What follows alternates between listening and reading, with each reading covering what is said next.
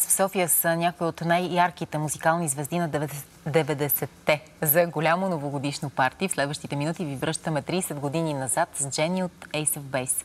С звездата се срещнаха Петя Дикова и операторите Боби Пинтев и Тони Петров.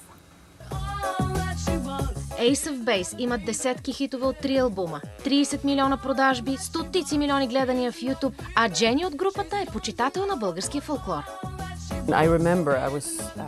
При предишното ми идване в България имах 10 минути да науча една ваша народна песен. Назад, назад, моме кали. And I just sang that.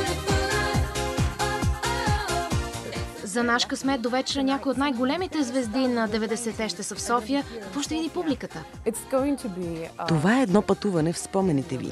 Ще ви върнем при всички хубави моменти от миналото. Това е силата на носталгията, която ви кара още да слушате тази музика. В шоуто до вечера имам една фантастична част, която става полунощ. Настъпва нова година и аз излизам на сцената. Знаете ли коя песен ще започна? It's a beautiful life. Не, ще завършим с нея, а започваме с Happy Nation. На сцената до вечера ще видим още East 17, Two Unlimited, Sonic и Лабуш. Ace of Base са две сестри, брат им и техен приятел. В какви отношения са четиримата сега ще ви разкажем следващата седмица в предаването тази неделя. За BTV новините Петя Дикова.